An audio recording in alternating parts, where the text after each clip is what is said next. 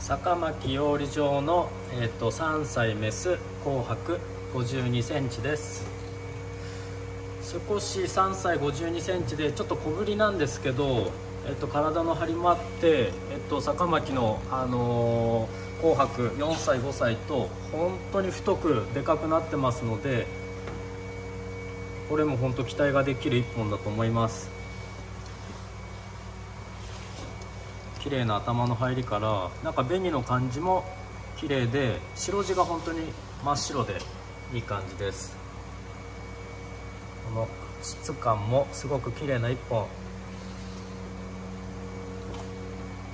大きくして6 0センチぐらいでふっくらさせてご自宅に迎え入れてはどうでしょうか。坂巻の紅白本当今年えっと2023年の秋すごくいい上がりしてるので僕もちょっと無理をして多めに抑えてえっと来年でも楽しめるようにちょっと多めに無理して仕入れてます。自信を持って出せますのでよろしくお願いします。綺麗ですね。